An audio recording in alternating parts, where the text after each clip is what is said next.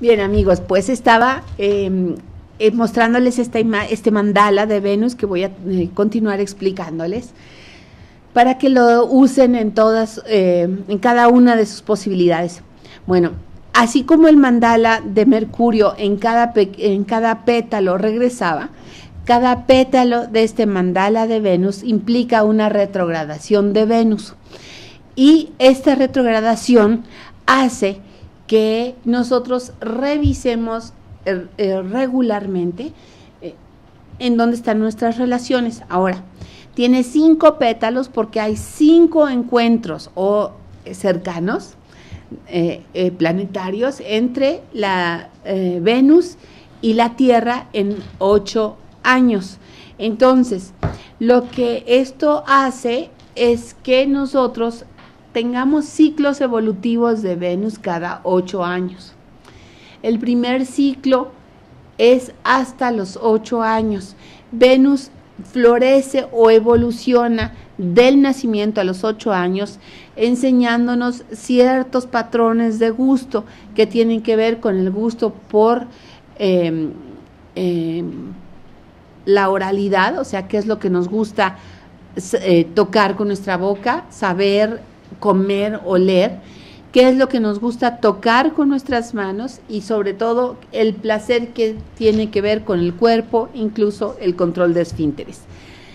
Ocho años después, Venus vuelve a regresar a la posición natal después de estos cinco encuentros y lo que provoca es que nosotros hayamos subido un poco de tono en términos de gustos y de amores la frecuencia de Venus. Esto hace que nosotros a los ocho años tengamos amiguitos y ya compartamos nuestros gustos con los, las niñas con, los, con las niñas y los niños con los niños, es lo que se llama el club de, de Toby y el club de Lulu. A los siguientes ocho años, plena adolescencia, tenemos ya desarrollado el gusto, el gusto eh, de qué es lo que nos gusta como amor fraternal, qué es lo que valoramos como amor fraterno, como amor de amigos, y estamos de acuerdo a la naturaleza preparados para procrear hijitos. Y en ese momento, pues es la plena adolescencia y es cuando Venus se manifiesta ya en tercera ocasión en todo su poder, no hay ningún cuestionamiento, en términos de normales, digamos, eh, de nuestros valores y nuestros gustos.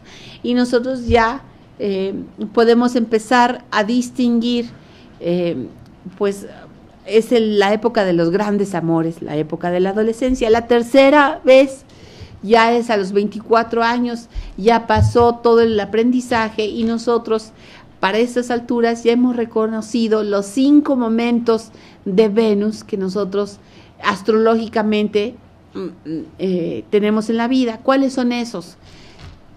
Nuestro signo solar va a tener dos signos anteriores y posteriores. Es decir, que yo solamente tengo un arco de relaciones. Vamos a decir, aquí que está con nosotros Nina, que es Pisces.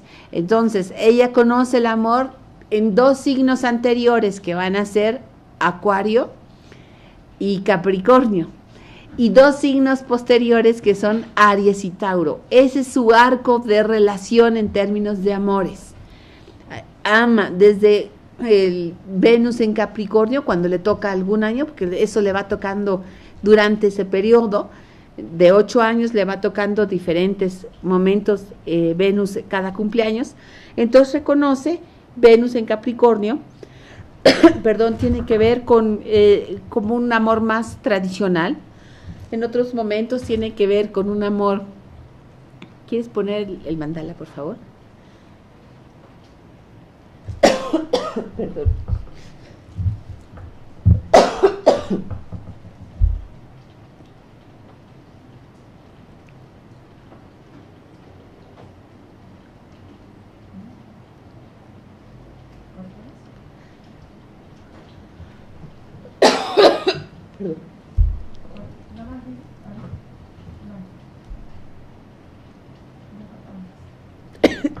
Perdón. Me agarró.